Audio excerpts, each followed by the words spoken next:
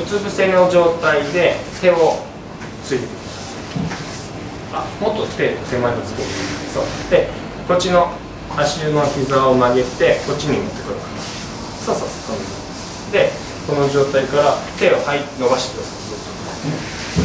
うん。ごめん。腕立てみたいにそう。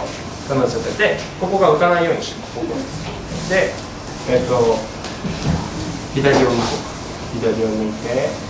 そう。左を向いてそうすると横のお腹が伸びてるの分かる。うん。でじゃあこっちの手はこっちの骨盤に手をかけるこっちの手ででそう。そ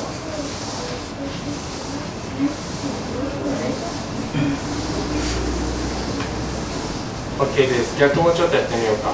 足足を伸ばしてそう逆の足を曲げていってで手はこっちに置いてこっちを今度そう。で体ぐーっとお腹を伸ばす。そう。落ち着けたまま。逆をこうやってそう。はい OK です